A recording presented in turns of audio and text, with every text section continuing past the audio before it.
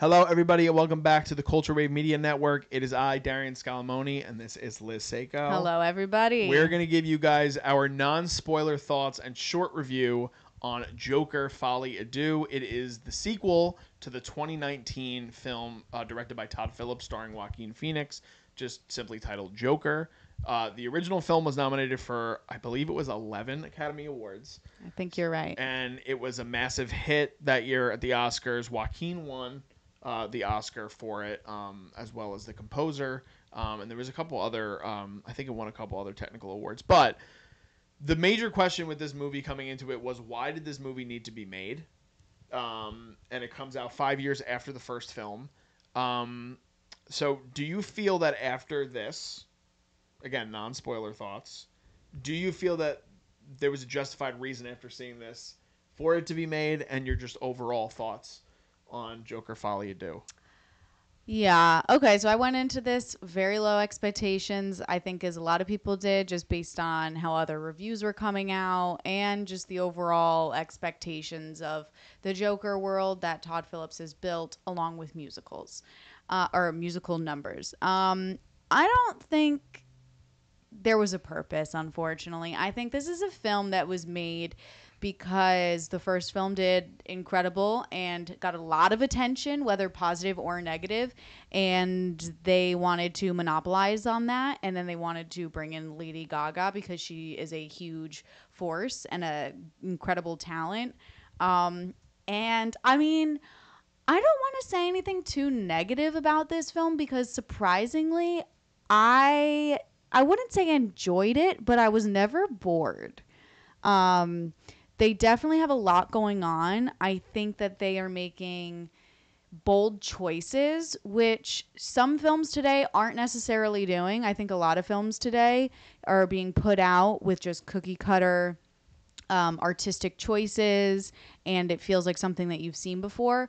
I can truly say this film is not anything that I necessarily have seen before or may never see again. That's true. Yeah, I would say that that's so- true.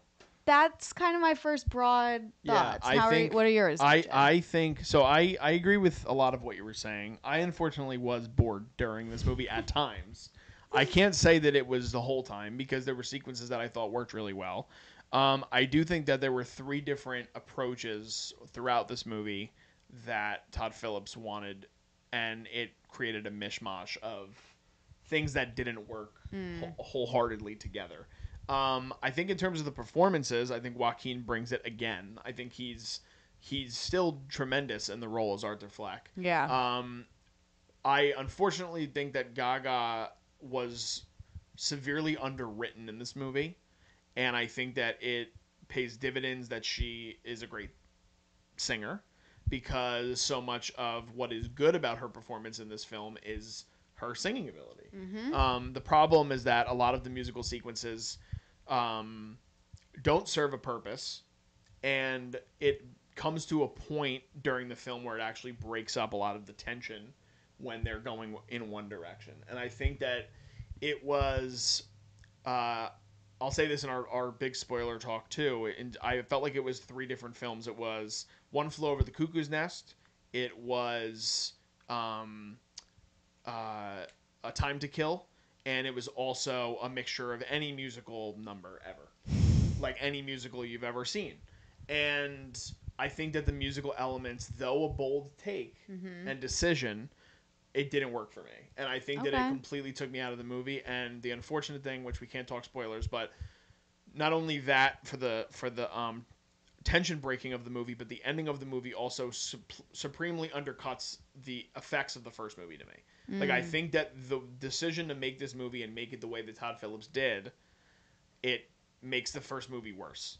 And really? yes, I, I- disagree on that Okay. actually. okay, Because I think that it highlights more of the, um, I don't know, darkness that happens in the first one uh, because of the lightness that they're trying to bring in with the music um, with the second one. And then I also think that it emphasizes more of the conversation around mental illness that the first one tried to have. And I don't know if they wrapped it up in a great way on the first one. Here, I feel like they're able to put a little bit more of a spin on it and perspective uh, surrounding like that conversation. Yeah, I think there's weirdly a little bit more empathy for him and his world in this movie than there was in the first film. Like you said, maybe that lightness that kind Yeah. of comes in through some of the musical sequences, and even some of the like relationships that he has with some of the guards at Arkham and things like that. Um, but to me, tonally, the movie's like all over the place, and it stinks because technically, I think it works on a lot of levels. I think that the cinematography is is great again. Um, though the score is good in this film, I don't think it's as strong as the first film. I don't know if it's the same composer that came back for this one. Um, Were there any musical numbers that you did you enjoy any of them? Did you yeah, think any of them I think fit? some of them. I think some of them work. I think some of them really don't work. And I think that there's there's there's something that happens towards the end of the film, and I don't want to give it away, but there's something that happens in a line of dialogue at the end towards the end of the film that is uttered, I know you're. and I felt collectively Mm-hmm. that the whole audience was in agreement with the character that enough is enough and we need to stop singing.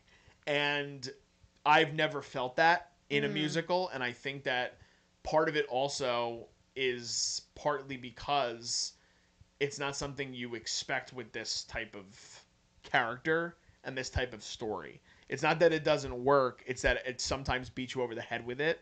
And I think it, it causes problems in, in the movie. See, I think that it's not so much um, the colliding of like genres or tone. I think it was just not executed to the extent that it should have been in order to make this a successful musical. Um, I think there are some numbers that are fully fleshed out and show, okay, why is this character singing this song? Because that's the whole point of musicals. This reason that characters start to sing in musicals is because they get to this feeling that words and uh, talking cannot express, so then they eventually have to go into singing, which I think for me, there were three times in this film that I was fully on board and was like, I buy it. I also like the song choice. But then there were some that they just wanted to do beautiful musical numbers with incredible sets.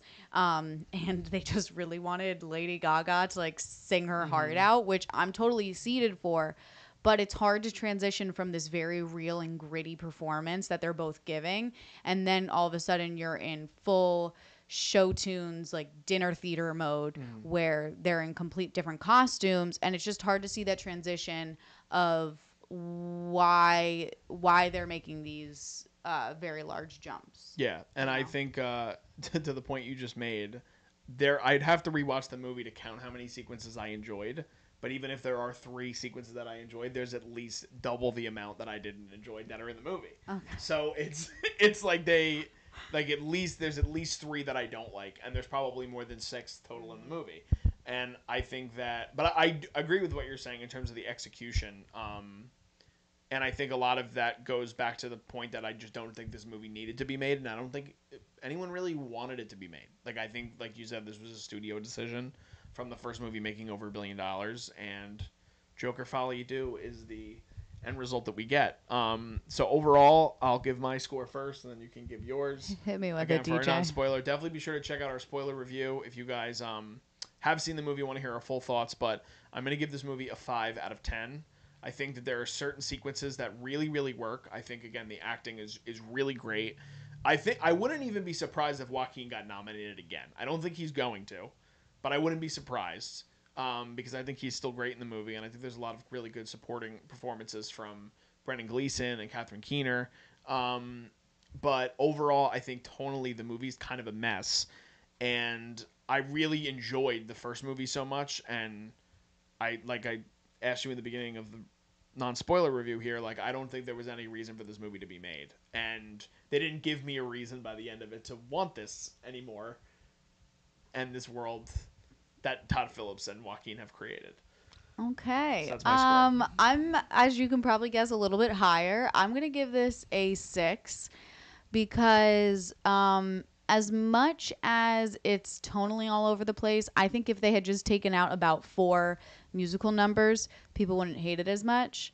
Um, I also think that if they had fleshed out Harley Quinn's character and her involvement in the story, it would have fit um, a lot of the elements more. I don't think they used Lady Gaga to her full extent acting wise. I think that they put way too much singing on her plate and just wanted her to kind of do what she does best, but they lacked. Um, her in the script. And so I think if those two elements had been beefed up a little bit more, it wouldn't the audience wouldn't be hating hating as much. Yeah. So a six because I didn't think it was technically bad either. I think technically everything the music they're incredible singers. Um, the cinematography is great. I think uh, again Joaquin gorgeous work as an actor. He really just embodies Arthur to his full ex- fullest extent. So I can't hate totally on this film. Yeah, I get it. Well, let us know in the comments what you guys thought about Joker Folie a Deux. Uh, it's not completely divisive, but there are people that are fans of the movie. There are people that are obviously hating all over the movie, but we have a larger spoiler conversation for you guys as well, so be sure to check that out. If it's not already on the channel, it's coming for you guys.